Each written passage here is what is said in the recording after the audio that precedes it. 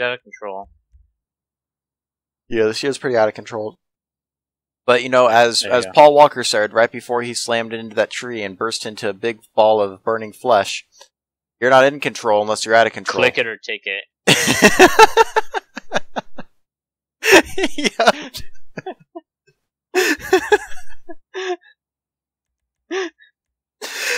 It's not just like it's like the camera view, like looking in through the window, like the window's down, and then it's like he just turns to it, goes click it or ticket, and then just the airbags go off, fire starts erupting everywhere.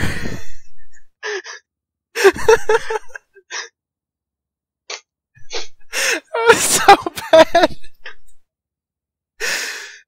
Oh, you're a terrible person. I can't. I can't wait to go to hell.